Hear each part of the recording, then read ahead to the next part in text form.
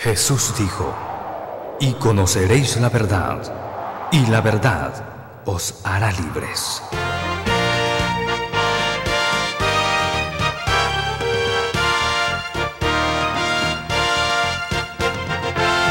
La hora de la transformación llega a ustedes con el precioso mensaje de Dios, enseñando los más altos principios de moral y conducta. Una alerta espiritual contra la inmoralidad y los vicios que destruyen al hombre. Un mensaje para la felicidad y unidad de la familia, en la voz del predicador internacional, reverendo Rodolfo González Cruz. Este programa es producido por la Iglesia Cristiana Pentecostés del Movimiento Misionero Mundial, una institución cristiana que realiza durante muchos años una ardua labor espiritual, educativa y social, alfabetizando, estableciendo centros educativos, enseñando la palabra de Dios a niños y adultos, trabajando en comunidades nativas, capacitando en labores manuales a personas rescatadas del vicio distribuyendo literatura cristiana y orando por sanidad para los enfermos. Todo esto a través de cientos de congregaciones y difundiendo las verdades del Evangelio por medio de este programa en muchas emisoras radiales y canales de televisión en el Perú y el mundo entero. Multitudes de personas testifican que han sido bendecidas sintonizando este programa y los enfermos sanados dan gracias a Jesucristo. Miles de hogares que ahora son felices lo confirman. La hora de la transformación ha transformado muchas vidas. Deja que también te transforme a ti.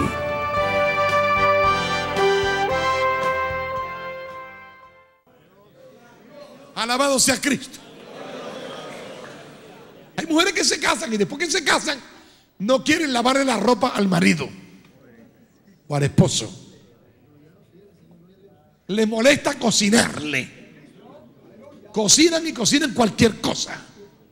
La mujer casada se esfuerza en cocinar e inventar en la cocina para que su esposo diga, qué rico mamita, qué bien te quedó esto. ¿Ah? La mujer casada se esfuerza en agradar a su esposo. Una mujer que se casa y lo mismo le da que el arroz le quede empegostado. Como para hacer tarrajeo o repello en las paredes. No se preocupa.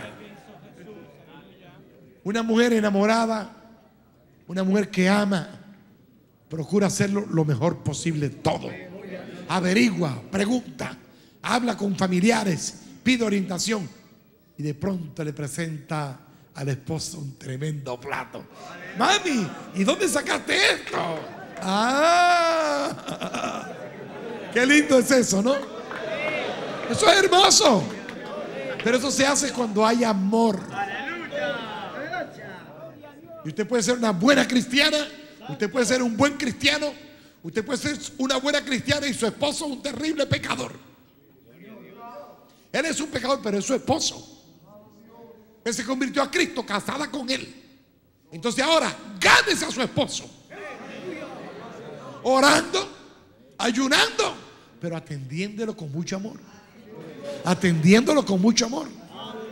Preparándole las cosas que a él le gusta. Pero usted es cristiana y entonces maltrata a su esposo, no le sirve bien, ¿cómo piensa que se lo va a ganar, hermano? Hay que atenderlo bien. Él está endemoniado. Él no entiende las cosas de Dios. Él piensa que usted está loca, hecha una idiota. Le dice idiota, loca, normal. ¿Y cuántas cosas ofende el hombre a la mujer? Y le grita. Bendito sea el nombre del Señor.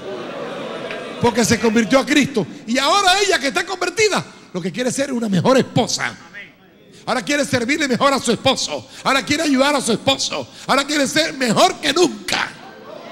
Y se esfuerza. Pero él está ciego. Está cerrado. Está poseído. No entiende. y se crea una guerra. Pero la mujer sabia edifica su casa. No la destruye. La mujer sabia edifica su casa. Gloria a Dios, hermanos. Hay algo que apremia. Pero ¿qué dice entonces? ¿Estás ligado a mujer? No procures soltarte. ¿Estás libre de mujer? ¿Eres soltero? ¿Eres soltera? ¿Estás libre de marido? ¿Qué dice? Gloria a Dios. No procures casarte. ¿Está de acuerdo con eso, hermana?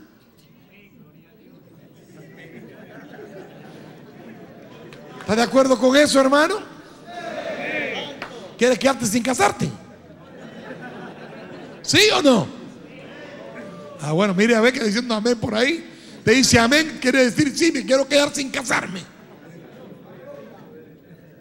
Que dice amén, está diciendo me quiero quedar sin casarme. Bueno, si alguien, si alguien puede quedarse sin casarse, porque no siente necesidad de mujer, o mujer que no siente necesidad de varón, y quiere quedarse sin casarse, pues bien, no haga pacto, porque hay algunos que hacen pacto de no casarse y luego se enamoran después. Se enamoran. Se enamoran después, hicieron pacto. Y entonces comienzan a sufrir y a padecer. No te apresures a hacer un pacto. Dice, no le prometas a Dios para no cumplirle luego. Cuando uno le promete a Dios, uno tiene que cumplirle luego. Uno tiene que cumplir. Hay quienes nunca prometen y nunca tendrán victoria en sus vidas. Porque los que no prometen no tienen fe y no tienen valor para enfrentar las cosas. Pero el que promete y se esfuerza, Dios lo honra. Prométele a Dios servirle hasta la muerte. No tiene que decir, me quedo soltero, no. Cásate. Pero prométele a Dios serle fiel hasta la muerte. Yo hace 51 años le prometí a Dios serle fiel hasta la muerte. Y he peleado contra el diablo, contra todos los demonios y contra todo lo que se me ha venido, hermano. He peleado y tengo la victoria hasta hoy. Y sé que terminaré mi carrera con triunfo, con victoria. Alabado sea el nombre de Cristo. Alabado sea el nombre de Cristo. Gloria al Señor. Gloria al Señor, hermanos. Poderoso, un aplauso para Cristo. Con gozo, con alegría. Alabe al Señor, aleluya. Gloria a Dios. Hermana o hermano, si estás casado, no procure zafarte. Si estás casado, cumple tu deber conyugal.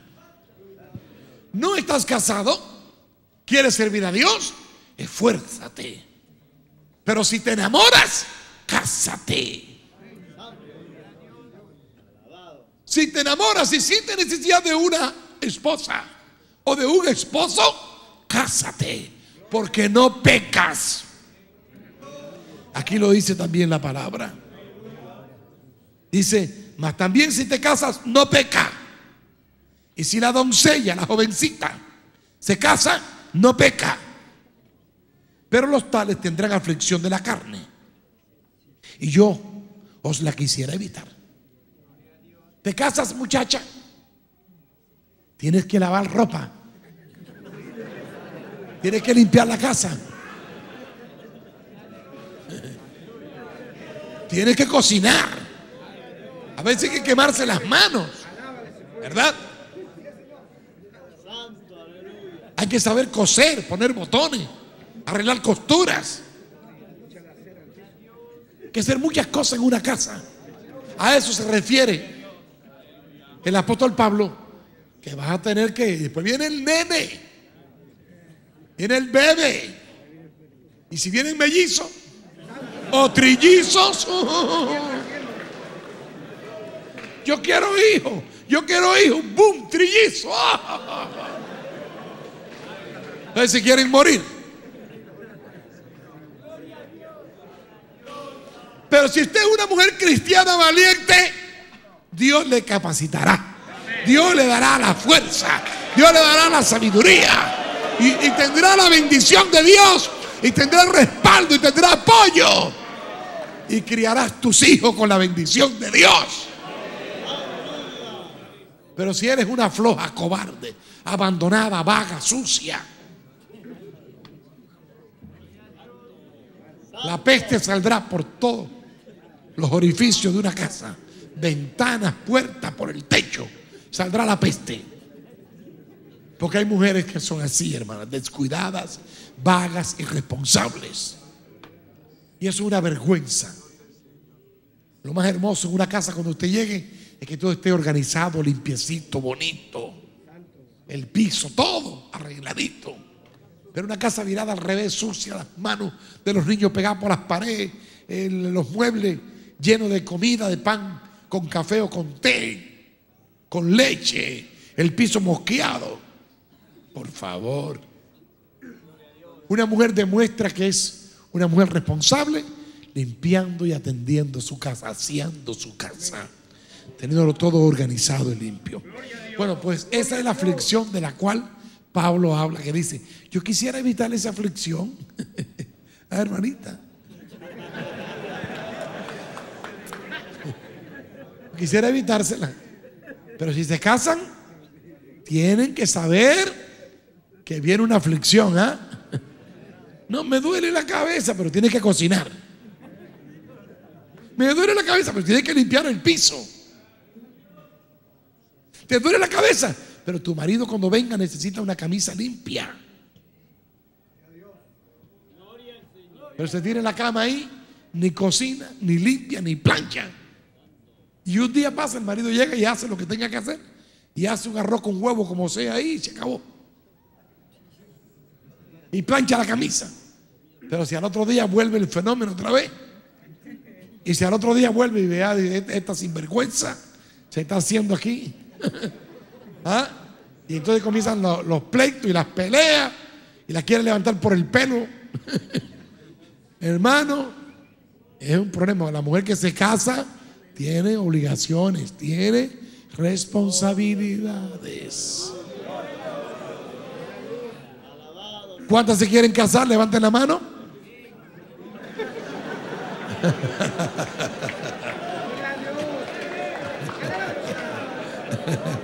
No le dé vergüenza, no le dé vergüenza. Anímese. ¿Cuántas no se quieren casar? Levanten la mano. Cobardes, dos o tres.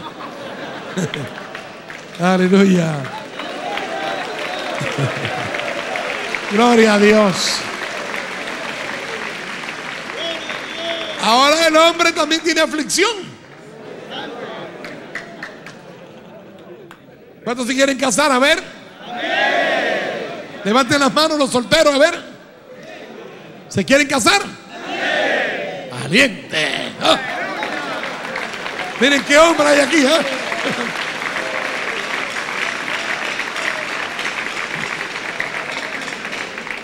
Pero tienen que levantarse temprano para irse a trabajar. ¿eh? No pueden estar durmiendo hasta las 11 de la mañana ni las 10 de la mañana. Tienen que estar en pie a las 5 y media, 6 para ponerse a orar, leer la Biblia, tomar algo e irse a trabajar de 7 a 8 a más tardar.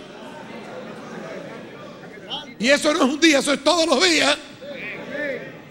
Porque todos los días hay que trabajar para poder traer el alimento para la casa. Eso le corresponde al hombre. Eso es una aflicción, ¿ah? ¿Qué quiere? ¿Servir a Dios, predicar el Evangelio? ¿Vivir por fe?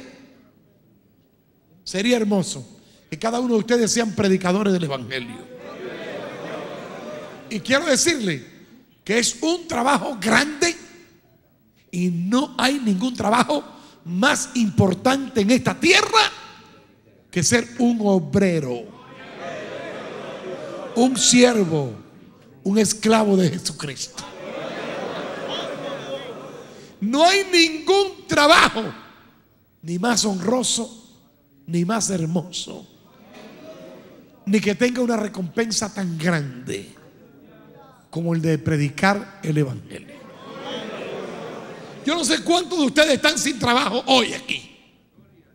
A ver, quisiera ver las manos. ¿Cuántos de ustedes están sin trabajo? Porque sabemos que falta trabajo. A ver, los que están sin trabajo. Yo le voy a recomendar hoy para un trabajo a usted. ¿Están sin trabajo? Levanten la mano sin miedo. Tienen miedo de levantar la mano. Hermano, ¿sabe cuántos millones de almas están perdidas? Que necesitan obreros, predicadores, que lleven la palabra de Dios. Necesitamos miles de predicadoras y predicadores que lleven el Evangelio. Y sabes una cosa, Dios paga bien. Dios paga bien. Ni la empresa eléctrica, ni la compañía de teléfono, ni ninguna de esas gente que tienen fama de que pagan bueno, no pagan como Cristo. Cristo paga mejor que todo eso. Que el seguro social. Aleluya. Que el trabajo de ingeniería o de cualquier trabajo, más que los abogados, más que todo, hermano.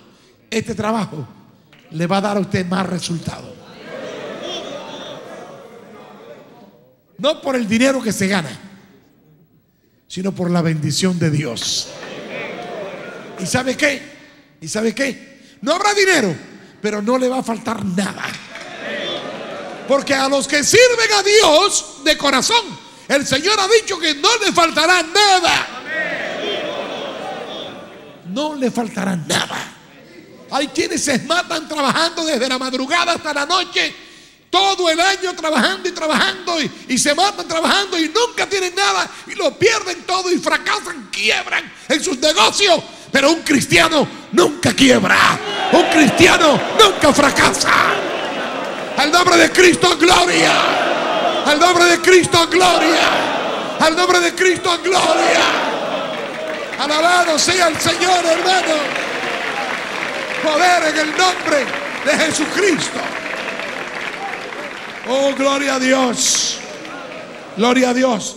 ¿Cómo vas a decirme que no tienes trabajo? No tienes trabajo porque no quieres. Trabajo hay.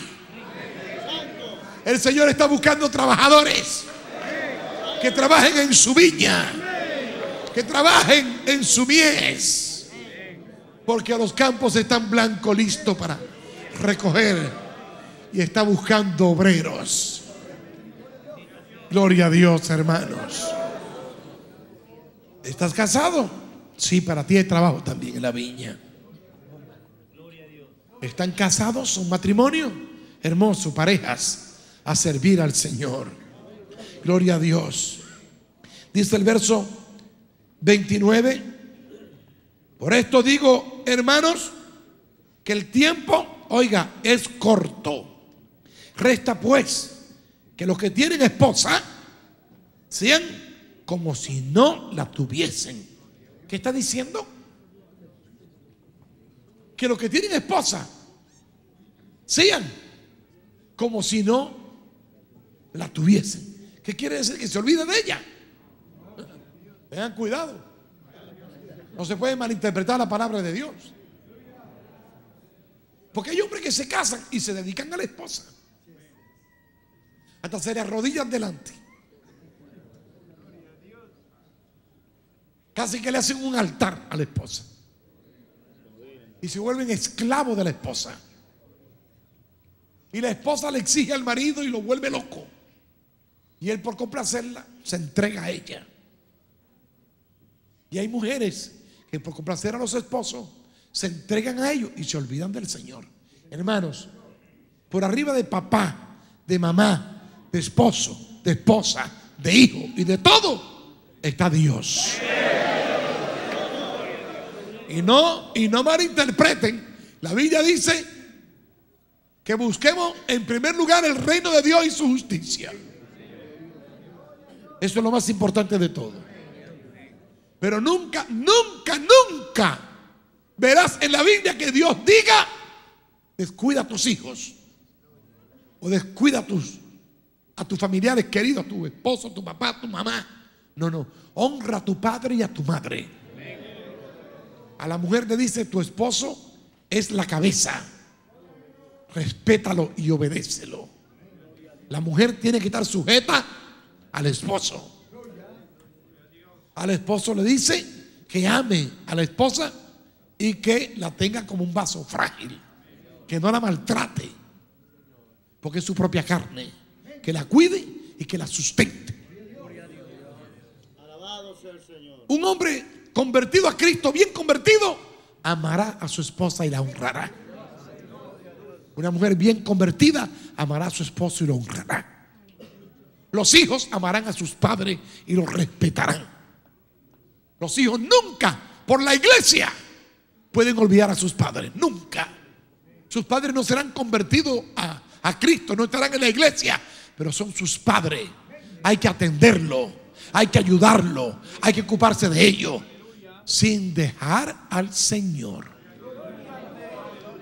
Si yo dejo al Señor por atender a mis padres, el Señor dice, no eres digno de mí. Si yo dejo al Señor para atender a mi esposa, el Señor dirá, no eres digno de mí. Atiende a tu esposa, pero mi lugar es mi lugar. Atiende a tu esposo, pero mi lugar es mi lugar. Gloria a Dios, hermano. ¿Entienden la palabra ahora? El que tiene esposa como si no la tuviera. La que tiene esposo como si no la tuviera. Pero quiere decir para no esclavizarse, para no amarrarse, para no poner el impedimento de que no pueda servir a Dios. Tenga tu esposa, gózate con tu esposa, gózate con tu esposo. Sí, tengan su vida. Amén. Y sus momentos a sola. Y también su paseíto, ¿por qué no? Su salida a ver a la familia. Sí, todo eso puede hacerse. Pero no olviden que aún yendo a ver a la familia o yendo a cualquier paseo, estamos llevando a Cristo con nosotros. Y estamos hablando de Cristo y predicando al Señor por donde quiera que vayamos.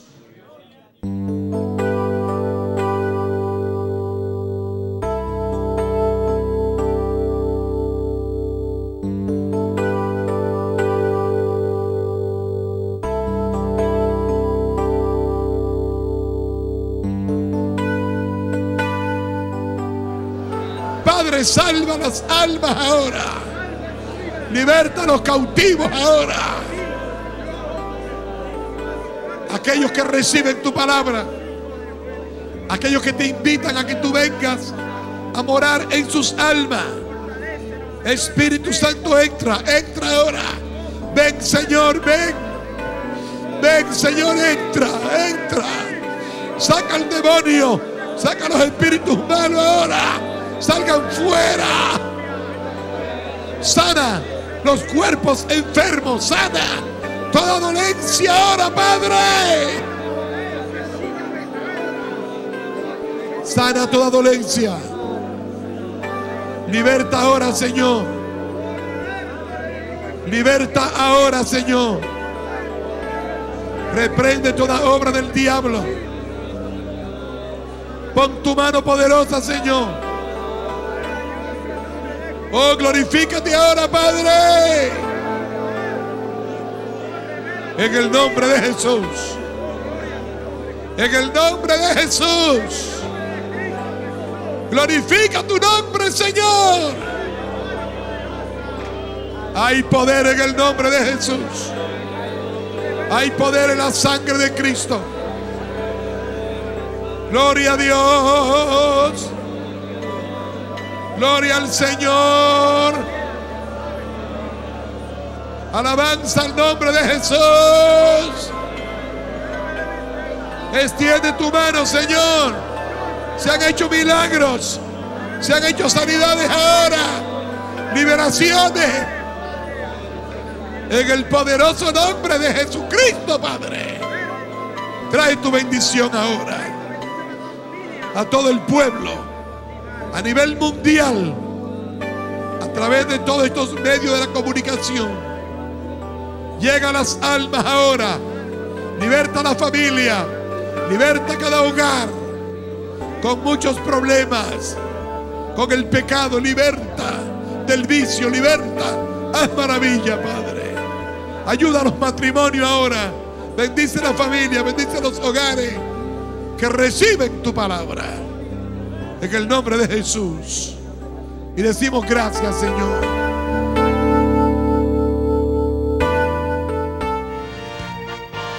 Esperamos que este programa haya sido una bendición para su vida. Escríbanos ahora mismo al apartado 162 Lima, Perú o visítenos a nuestra sede central en la avenida 28 de julio 1781, La Victoria. Llámenos a los teléfonos 423-8890, 431-8917 y recuerde que este programa se transmite gracias a las oraciones y al aporte voluntario de los hermanos y amigos de este ministerio. Dios les bendiga.